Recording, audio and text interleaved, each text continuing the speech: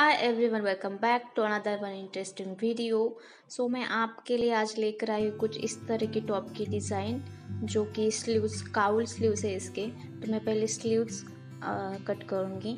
तो मैंने ये नॉर्मल स्लीव्स लिए और उस पर पाँच इंच तक मैंने मार्क किया है और उस पर मैं अब लाइन ड्रॉ करूँगी। वीडियो बहुत ही इंटरेस्टिंग होने वाला है सो आप एंड तक ज़रूर देखना। अब मैंने लाइन ड्रॉ की है। अब मैं इसे थोड़ा सा कट कर दूँगी क्योंकि मुझे थोड़ा सा ज़्यादा लग रहा था। तो मैंने कट कर दिया इसे।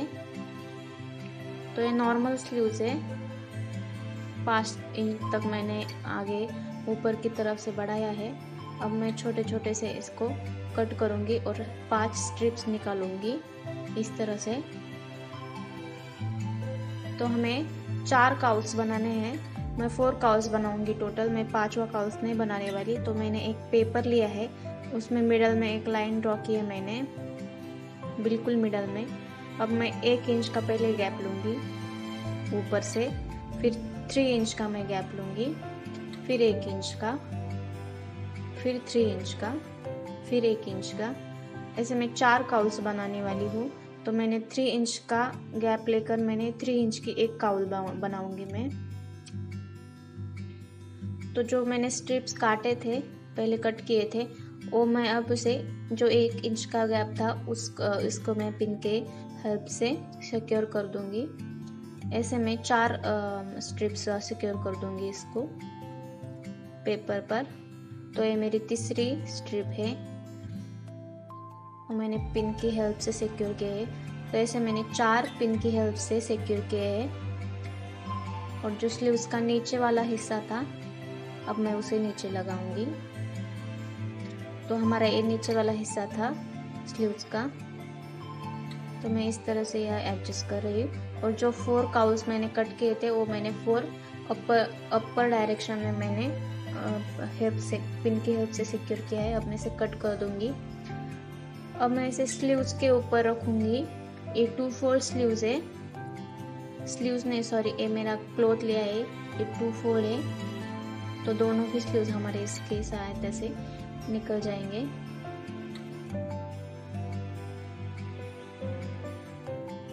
हमें कट करना है। तो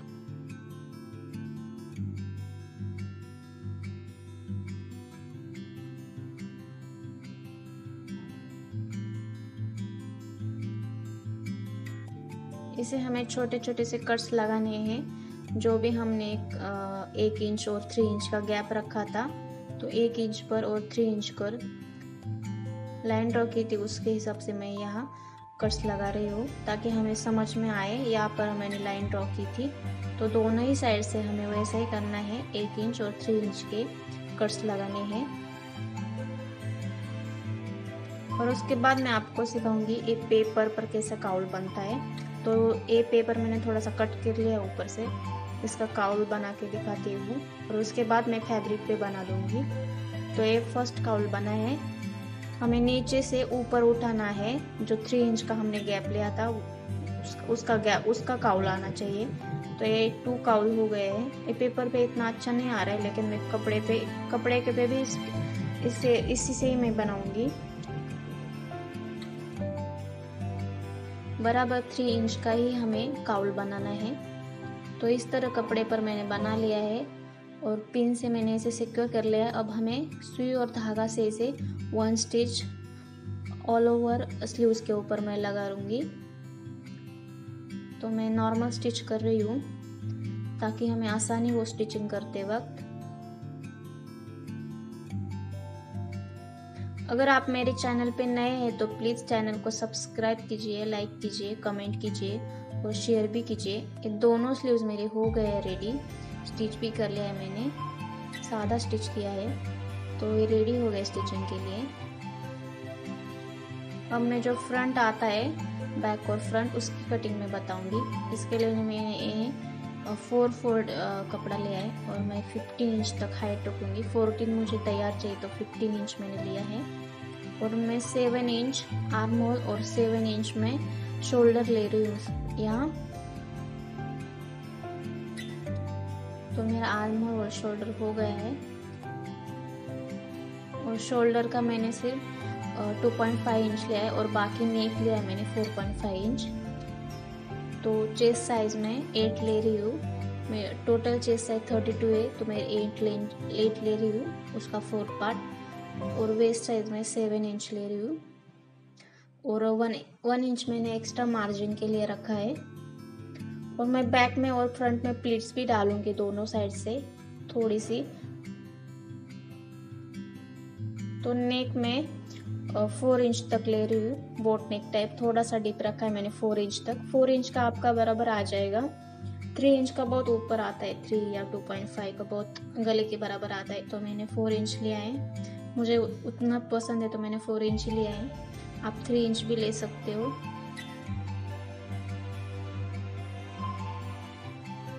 अब कट करने के बाद मेरे टू पार्ट्स हो गए बैक और फ्रंट अब जो नीचे वाला हिस्सा है, उसे मैं तैयार करूँगी। ये मैंने 25 इंच का हाइट ली है कपड़े की 25 इंच तक, और वो मैं 24 में मेरा हो जाएगा। उतनी हाइट मुझे चाहिए। तो मेरा अराउंड एट डेढ़ डेढ़ से ज़्यादा ही होगा मेरा कपड़ा। ये मेरे दो पार्ट्स बच गए थे ऐसे भी मैं ज्वाइन कर दूँगी इसके साथ। तो मैंने ज्वाइन करने के बाद इतना कपड़ा है और उसको एक साइड से हमें सुई और धागा की हेल्प से जो नॉर्मल स्टिच करते हैं, हमें वैसा करना है। सभी एक तरफ़ से करना है वेस्ट जो हमारा वेस्ट साइज़ है वहाँ वहाँ से करना है। जो हम नॉर्मल स्टिच करते हैं, वैसा करना है। दूसरे एंड तक हमें ऐसा ही करना है। तो उसके बाद मैं आपको दिखाऊँगी। सब मेरा एंड तक आया है। स्टिच करते हैं। स्टिच करने के बाद हमें इसे थोड़ा सा एक धागा हमें खींचना है। तो बहुत ही अच्छे प्लीट्स पड़ जाते हैं उस पर। और ये मेरा वेस्ट साइज़ वेस्ट साइज़ के हिसाब से मैं इसे 14 इंच का कर दूँगी। तो 28 टोटल वेस्ट है साइज़ तो मेरे 14 इंच आ रहा है दोनों, एक दोनों साइड से. तो एक टोटल ट्वेंटी इंच होना चाहिए था ट्वेंटी एट इंच तो मेरा फिफ्टीन इंच आ रहा है तो थर्टीन इंच में थोड़ा सा कम कर दूँगी इसे. तो ये बराबर ट्वेंटी एट इंच था, आ जाएगा पूरा. अब मुझे, अब मैं इसे एक टाका लगा रही हूँ.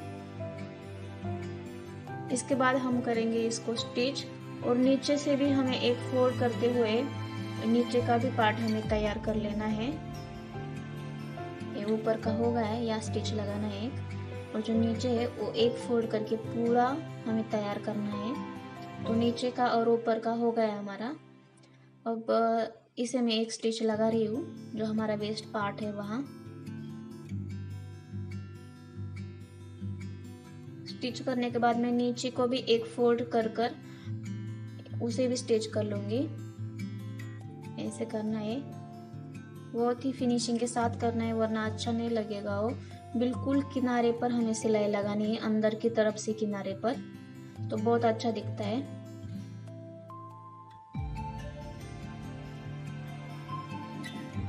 तो मैंने ऊपर से भी स्टिच किया है और नीचे से भी एक स्टिच किया है। तो ये मेरा दोनों हो गया है। इस तरह से दिख रहा, बहुत अच्छा दिख रहा था कि वेस्ट साइज़ है और नीचे का भी हो चुका है। अब हम करेंगे फ्रंट का स्टिचिंग तो ये दो पार्ट्स है, मैं दो, दोनों ही पार्ट से थोड़ा सा उसे प्लीट्स लगा लूँगी, पीछे से भी और आगे से भी। बिल्कुल हाफ़ से भी कम इंच तक हमें रखना है प्लीट्स का और फोर इंच तक हाइट में रखना है प्लीट्स को। तो बहुत ही अच्छा फिनिशिंग के साथ लुक देगा हमारा। और बैठ गया भी अच्छा है। तो ये मेरा एक होगा है। और दूसरा भी मैंने रेडी कर लिया है। तो ये दो पार्ट्स है।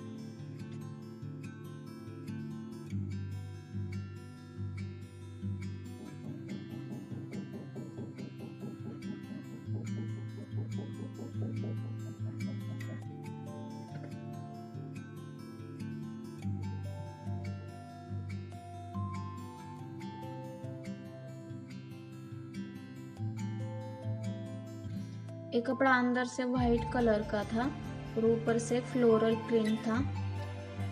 तो बहुत चमक रहा है वीडियो में। तो इस, मैंने नेक कट कर लिया है और अब मैं उसे,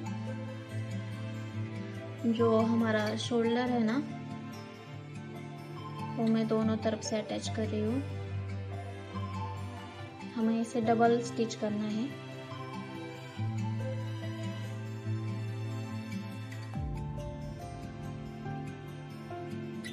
कपड़ा बहुत ही अच्छा था उससे अस्तर की भी ज़रूरत नहीं लगी मुझे। मैंने अस्तर लाया था, मैंने लगाया नहीं, लेकिन इसे ज़रूरत नहीं अस्तर की तो मैंने लगाया नहीं इसको। बहुत सॉफ्ट कपड़ा है और टिकाऊ भी है। तो ये मेरे दोनों शोल्डर हो गए अटैच करके। दूसरा भी हो रहा है। डबल स्टिच करना है हमें।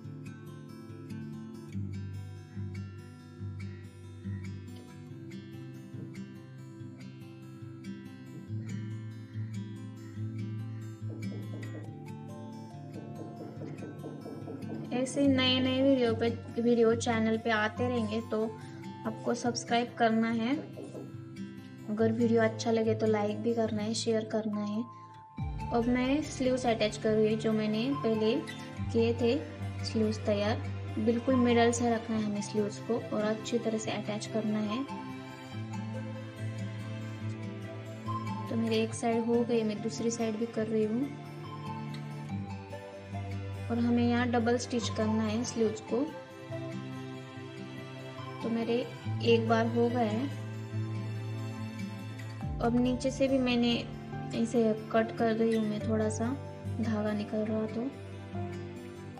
इसे भी मैं फोल्ड करके, जो हमने बॉटम में किया था ना, नीचे वाले हिस्से में, वैसा ही मैं फोल्ड करके इसे अच्छा सा एक स्टिच लगा रही हूँ।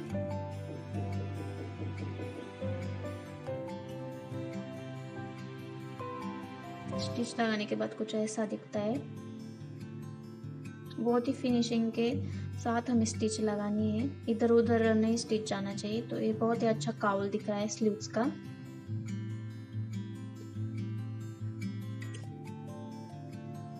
तो ये मेरे दोनों स्लीव्स अटैच करके हो गए हैं। मैंने पाइपिंग भी की है। मैंने ऑफ़ कैमरा पाइपिंग की है। वीडियो बहुत ही लंबा हो रहा था, इसलिए मैं शॉर्ट में इसकी फिटिंग बता रही हूँ आपको। सिर्फ़ फिटिंग करनी है हमें दोनों साइड की।